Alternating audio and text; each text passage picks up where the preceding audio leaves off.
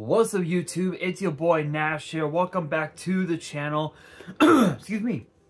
Now before now before we get started with this week's episode of Yu-Gi-Oh's biggest issue, the road to 200 subs has now come to a close and we are now halfway to 500 subs. Who knows, maybe we might hit 500 subs by the end of the summer. Only time will tell. But as I have said in previous videos, if this channel does get to 500 subs, I will open up this Korean LOB booster box in its entirety on the channel that I got from my partners over at Collector Store. So be sure to check them out. Link and address will be in the description below. By checking them out, not only does it support them, it also supports the channel, and I would greatly appreciate it. On the hopes to potentially pull a Blue Eyes White Dragon, a Dark Magician, a Red Eyes Black Dragon, a piece of Exodia, Monster Reborn, Pot of Greed, the possibilities are out there.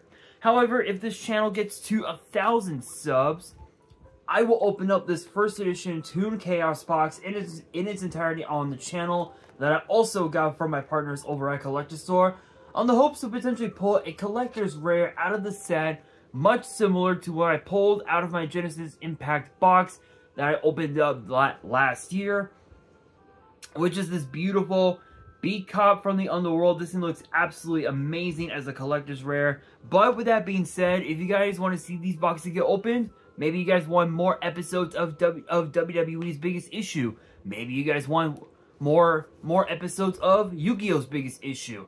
Deck profiles, card discussions, WWE topic videos, or maybe, just maybe, you guys want some premium live event predictions and results.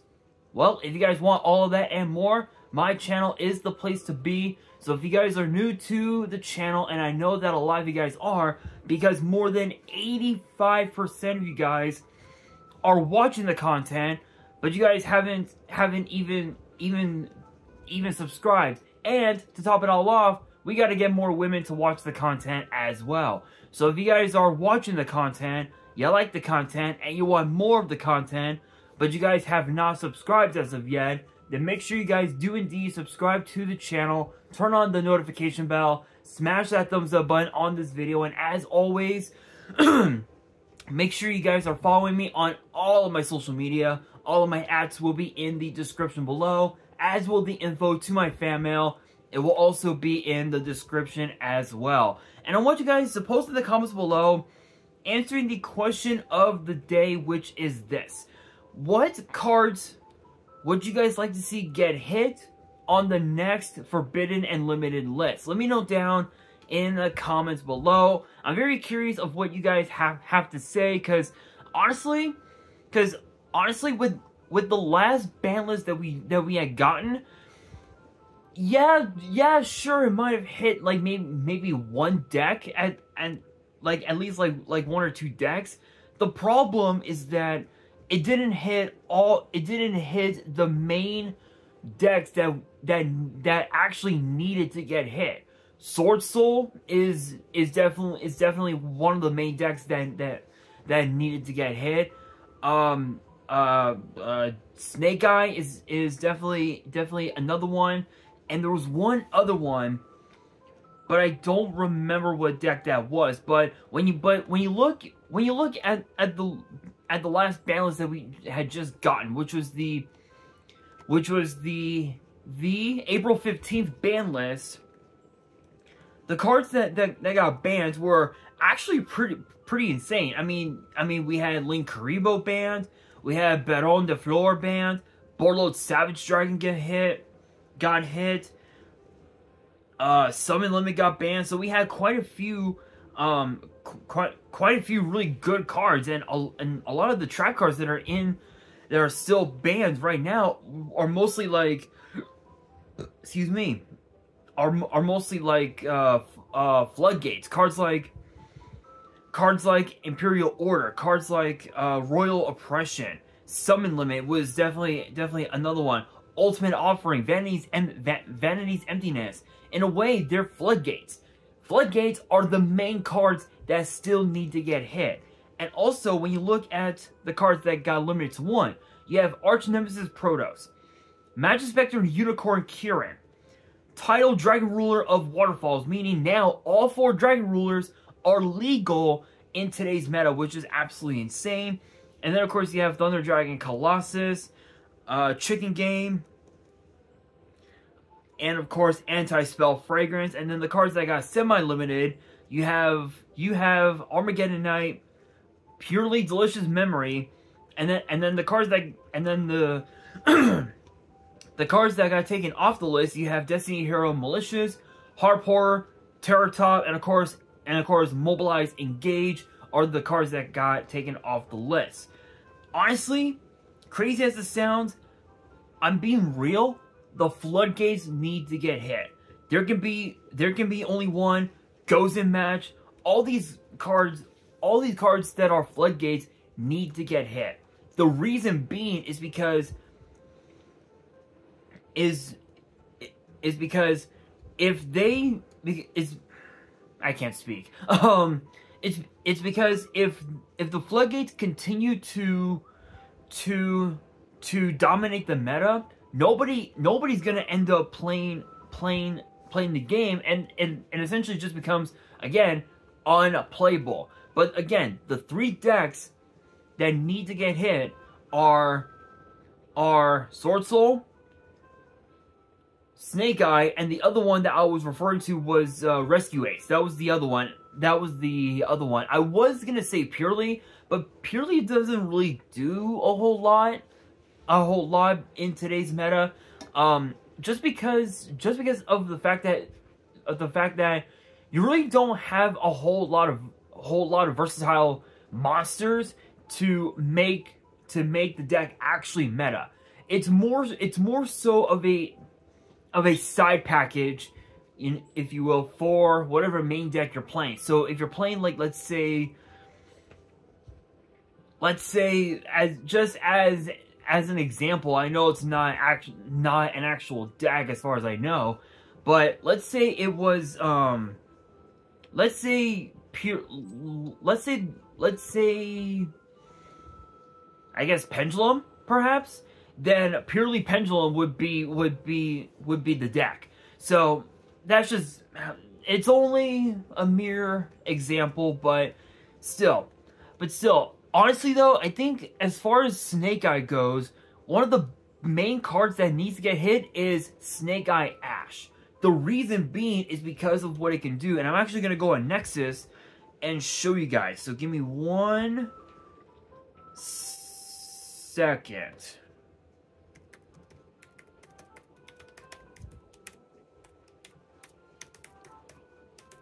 Okay, now that.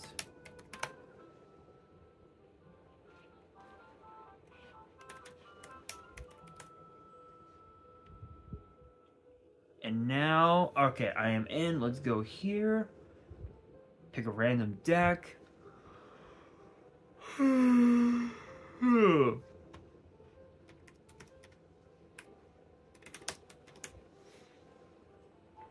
Okay, Snake Eye Ash, which is literally the main combo starter for the entire deck. The effects read, read as follows. If this card is, is normal or special summon, you can add a fire. You can add a you can add a level 1 fire monster from your deck to your hand. You can send two face-up cards you control to the grave, including this card. Special summon a Snake Eye monster from your hand deck from your hand deck, except this card. You can only use each effect once per turn. Literally, this gives you this gives you this can get you into into cards like Snake Eyes Diabellstar and even also uh, Snake Eyes Flamberge Dragon, which Flamberge Dragon is like by far the most insane card in the entire format just because of what it just because just because of the fact that it's more of a it it's it's literally it's literally literally like a floodgate, if you will.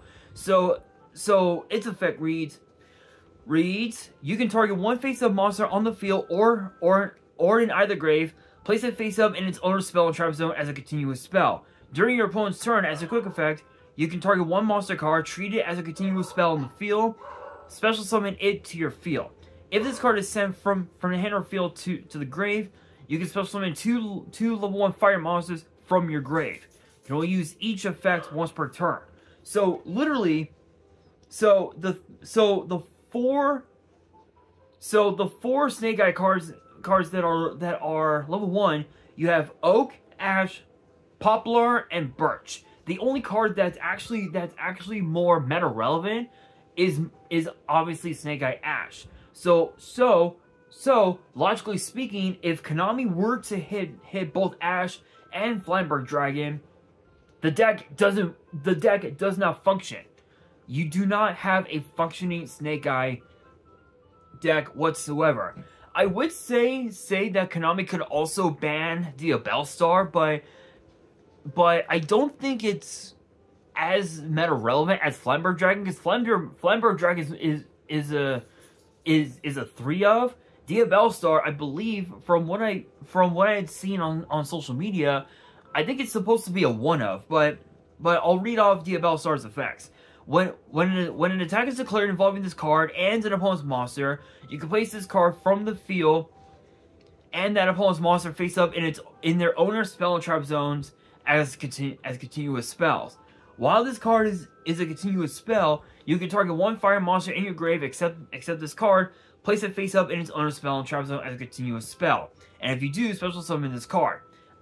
Basically, you you have yourself a floodgate in the form of this card if this card were to get, even if this card were to get, get, get limited to one, it wouldn't matter. The deck would still be able, would still be, be able to play it. But what would happen, what, what, what would happen if Konami did ban Ash and Flamberge Dragon? Answer, the deck would would not function. You wouldn't be be able to function anything. You wouldn't you wouldn't you wouldn't be be able to play the deck whatsoever. so that's so that's definitely those are definitely two cards I could totally see getting getting banned really easily.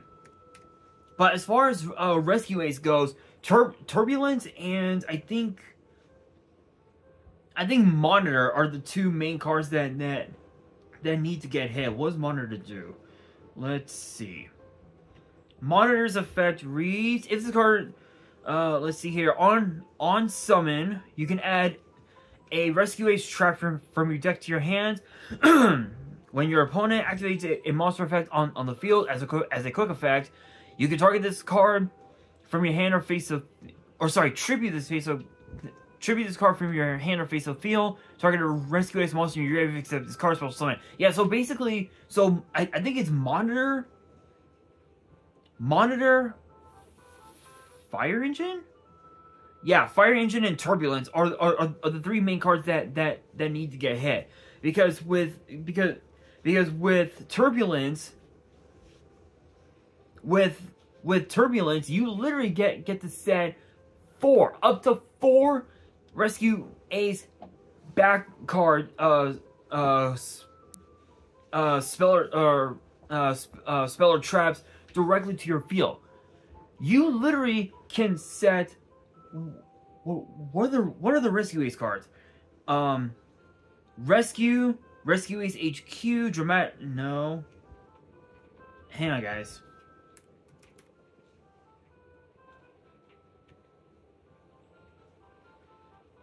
Um, so so there's rescue ace HQ.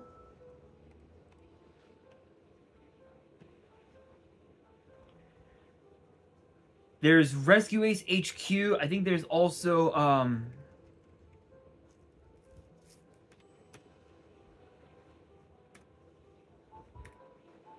There's also there's also also extinguished. So you've got quite a few um quite quite a few uh card cards that that that you can send and also and also, it, pop, it, it pops cards. Literally, this card can help you get get to your floodgates no problem. Not much else else to say about that. There's really not a whole lot a, whole lot to say about that. Now, as far as Sword Soul goes, here's the thing. I've been um I've been so obviously you guys know I've been playing a lot of Master Duel um for for for the last several months now. and every time I get on I get on Master Duel, I always end up playing against Sword Soul. Why? Because because nobody likes likes to have fun. That's the problem. The way I see it, the way I see it, it's the synchros that that need to get hit.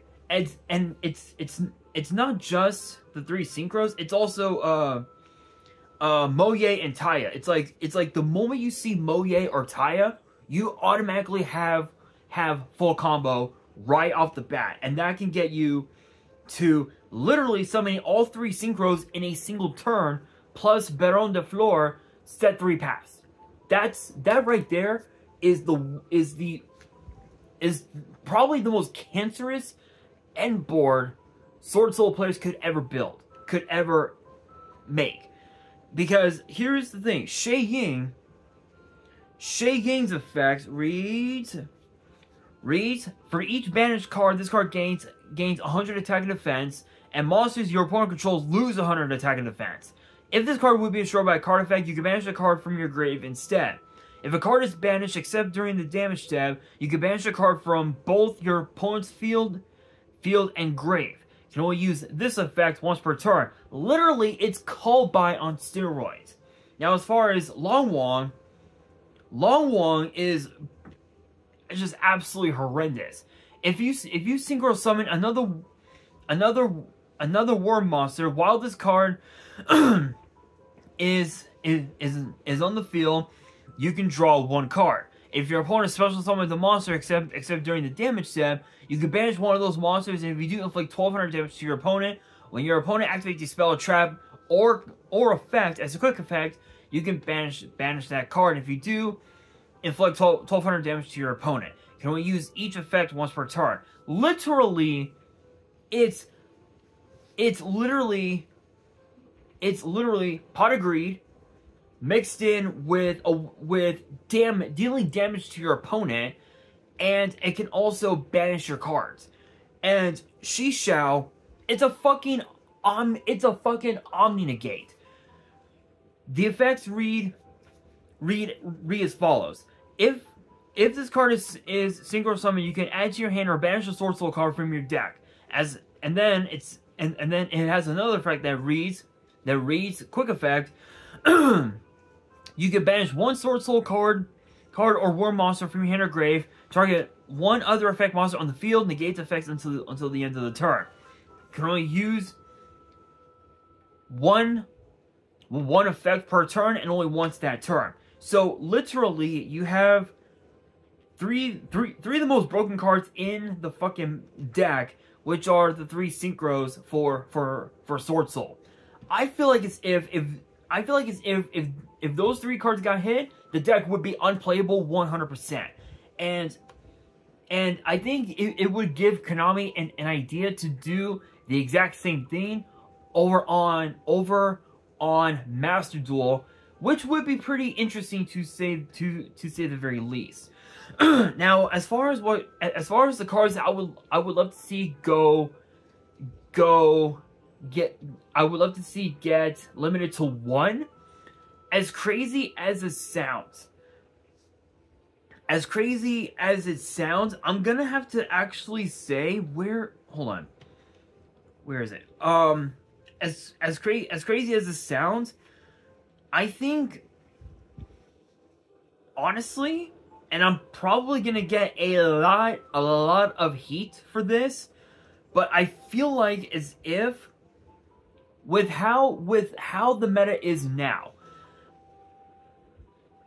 and with how much and, and with how insane it's been, I feel like as if cards like cards like like number number 95 Galaxy Eyes Dark Dark Matter Dragon as well as if I can find it uh Simorgh Bird of Sovereignty could definitely come back. And the reason for and and the reason I I, I bring up those two is because with with with Simorgh, you really don't see Floowandereeze all that much anymore. Only time only time you see him is is on Master Duel. So I so I feel like as if if if Konami were to ban Rise of the Rise of the Mega Monarch and bring and, and bring this card back, I I feel like as if I feel like as if decks like decks like Harpie as well as um oh what's another wind wind based deck? Um oh my god what's another one? I think uh yeah I think Harpie is Harpie is like is like is like one of the main decks. But I feel like as if deck deck wind based decks like that could definitely could, could definitely get get their time to truly flourish and, and become a really a really good deck where where where as opposed to to to number number 95 get galaxy eyes could make its way back into in into the meta. And with and with thunder dragon colossus now at one we could see we could end up seeing seeing seeing number uh, number 95 make its way back into into the meta as well. But obviously obviously i doubt i I doubt that we'll ever see them i know that and i even also doubt that Maxx C will get taken off off the list if it does i can guarantee you that um I, I can guarantee you that the whole world is gonna is, is just gonna be in shambles. I can guarantee you that right now. So Konami, do not unban do not unban Maxx C. Do literally, dear Konami gods, do not unban Maxx C. Sincerely, everybody who who doesn't want to play against Maxx C. If you know, you know. um, but I I also feel like as well as crazy as it sounds, as well I truly believe that Fiber Jar could also come back. And I know that that it's a bit of a weird card card to bring up, but Fiber Jar is actually is actually kind of kind of sick. Fiber Jar, here we are. Uh, each player shuffles all cards from, from their hand, field, and grave in, in, in, into the deck and draw five cards. I mean, to be fair, to be fair, this, to be fair, it would be cool cool to see Fiber Jar come come back, especially for especially for um for the Edison tournaments. You know, with you know you know at you know at YCS events and whatnot. I think it would be pretty in in pretty interesting. Um, but but as far as like as far as cards I could see get taken off off the list like completely. I don't know. I don't. I really don't think there's anything like if I like if if if I were to pick one, I would probably say something like maybe I don't I don't know. I don't know, maybe smoke smoke grenade? I don't know. I don't know, but uh but maybe but ooh. I just thought of something. Maybe Sixth Sense could also make its way into the form. Ah, you know, actually, what? No, actually, no. I don't. I I don't think so. Because that would just give, that would just give Floowandereeze and Sword Soul even more firepower than than ever before. So honestly, I don't know. I don't know. I don't know. But I but again, those three decks, Sword Soul, uh, Rescue Ace, and um and Snake Eye are probably the three three biggest decks that that def definitely need to get hit. But I'm very curious curious of what you guys think about about about all of this. Let me know down in the comments below. And that'll do it for this week's episode of Yu-Gi-Oh's Biggest Issue. Hopefully you guys enjoyed. If you did, make sure you guys smash that thumbs up button. If you guys are new to to the channel and you guys want more episodes of Yu-Gi-Oh's Biggest Issue in the future, then make sure you guys subscribe to the channel, turn on the notification bell, and as always, make sure you guys are following me on all of my social media. All of my ads will be in the description below, as will the info to my fan mail. It will also be in the description as well. And on that, this is your boy Nash, signing out.